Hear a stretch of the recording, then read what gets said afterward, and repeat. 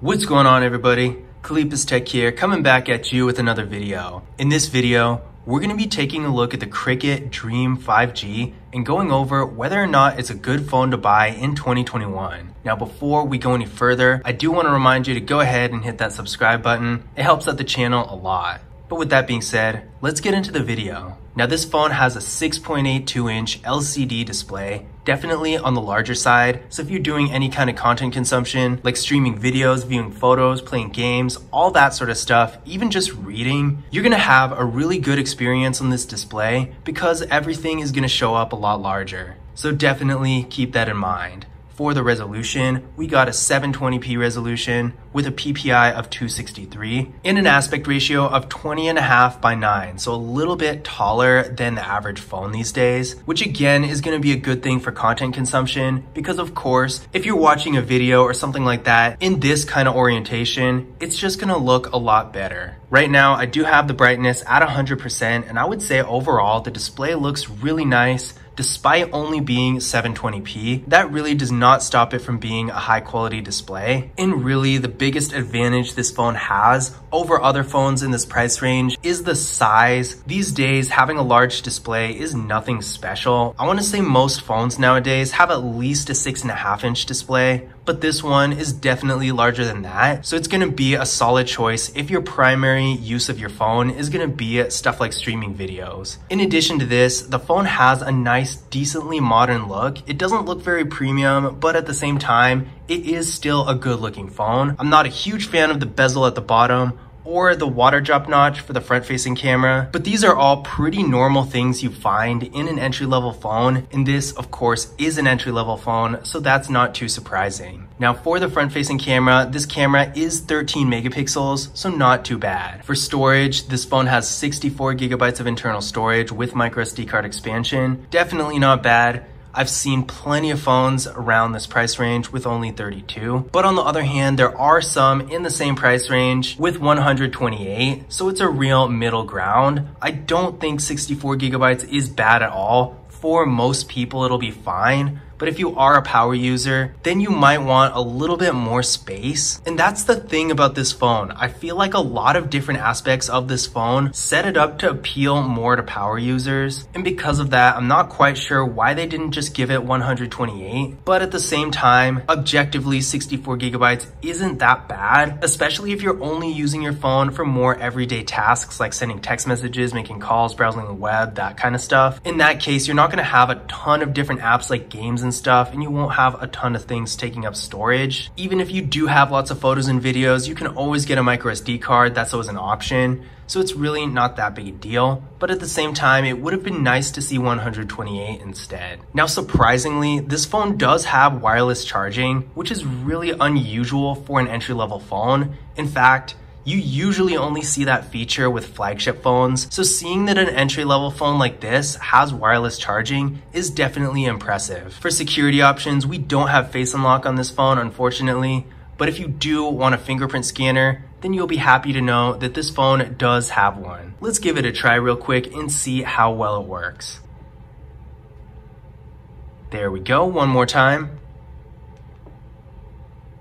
And there we go. As you can see, it's real fast and responsive. I have no complaints here. Now for the rear camera setup, we got a 48 megapixel main camera, an 8 megapixel ultra wide camera, a 2 megapixel macro camera, and a 2 megapixel depth sensing camera for portrait mode. So this phone has pretty much every camera feature available to non-flagship phones. And again, I can't stress enough, this is a really entry level phone. So seeing that this phone has a 48 megapixel main camera and all these different features is super impressive. If you're looking for a phone to take some high quality pictures for social media or maybe even something more professional, this phone is definitely going to be a good option because it has all kinds of different features and not to mention really good photo quality. This photo was taken with the main camera and as you can see, it is a really nice photo. The lighting wasn't the greatest just because it was a cloudy day, but regardless, the picture still looks great. Sure, the colors could be a little bit more vibrant, but that's really nitpicky and you can always fix stuff like that in an editor. Overall, the photo is really good, especially when you consider the tier this phone is in. Now this photo was taken with portrait mode. Now you'll probably notice there are a few spots where there's a little bit of distortion where the background wasn't quite blurred properly, but at the same time, I'm still impressed. For the most part, the picture looks really professional and the little blemishes in this photo are unlikely to happen every time you use portrait mode. This was probably more of a one-off thing. So really, if you do want to use portrait mode frequently to take some nice pictures for social media and stuff like that, then I do think this phone will work out really well. This photo was taken with the ultra wide camera, yet another really nice photo. No distortion around the edges like you typically see in more entry-level ultra-wide cameras. The quality is definitely there, so if you are looking for a phone with a really high-quality ultra-wide camera, then this phone will get the job done. This photo was taken with the macro camera. As you can see, it captured all those little details really well. I have no complaints about this one either.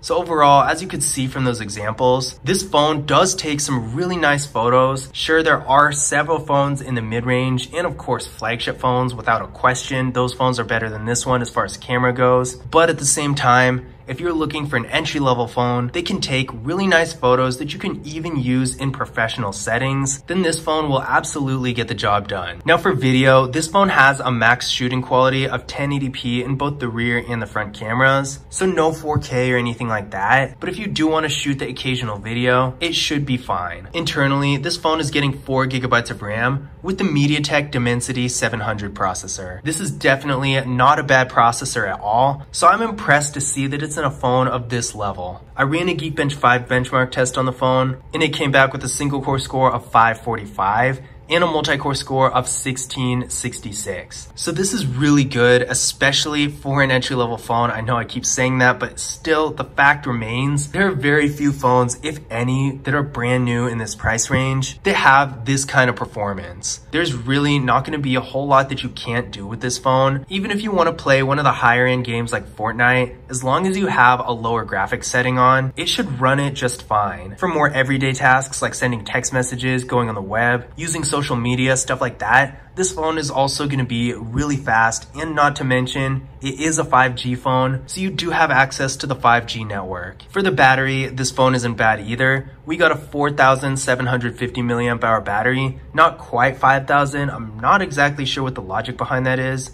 but it's still a pretty large battery. So you're to get some good battery life throughout the day and down the road in terms of longevity. As the battery starts to degrade, all batteries do, but with larger batteries, it won't hinder the performance nearly as quickly. So as a result, you'll be able to keep the phone a lot longer without having to replace it. So if you do like to keep the same phone and don't like to have to keep getting new ones every year, this phone is gonna be a good choice. My only complaint about the battery is that as far as I can see, there's no real compatibility with fast charging. Now this isn't gonna make a huge difference, except for the fact that if you have a real real powerful fast charger, like an Anker car charger. I actually have one of those. It's like 40 watts or something like that. It's not gonna make a difference with this phone. It's not gonna charge any faster. And to me personally, that is a bit of a disappointment because when I'm driving, I like to plug my phone into a fast charger and have it back at 100% or close to by the time I park. And unfortunately with this phone, that's probably not gonna happen. Now that's not to say that this phone has a bad battery, but compared to a lot of phones, even other entry level phones, they usually support at least 10 watt fast charging, which is better than nothing. But unfortunately, I don't think this phone supports any. Now on the bright side, one thing this phone does have is NFC. In case you don't know what it is,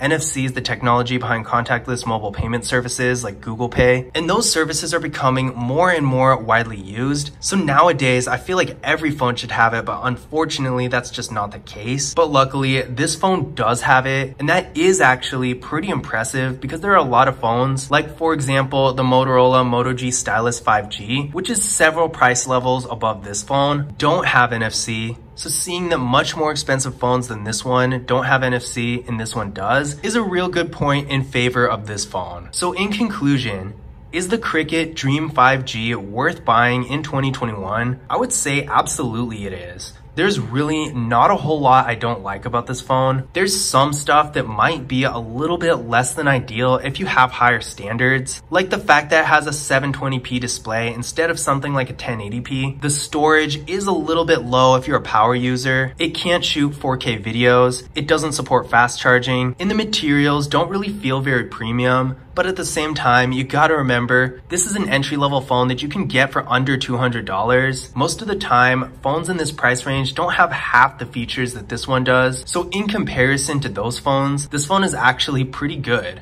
So if you're looking for a phone with a large display, great camera features, a really powerful processor, a decently large battery, and the ability to use NFC, then the Cricket Dream 5G is gonna be a solid option. But I hope you guys enjoyed the video. And I hope you found this information useful as well. If you did, don't forget to leave a thumbs up and subscribe to the channel. And as always, I will see you in the next video.